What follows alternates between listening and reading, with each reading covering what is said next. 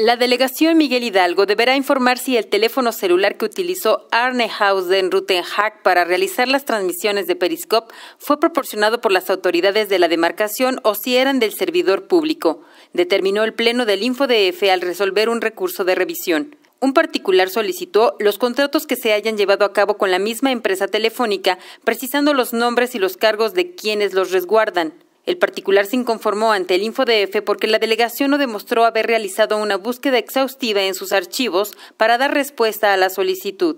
El Pleno del InfoDF ordenó a las autoridades emitir una respuesta a la solicitud de información en un plazo de tres días hábiles y se da vista a la Contraloría General de la Ciudad de México por configurarse la omisión de respuesta.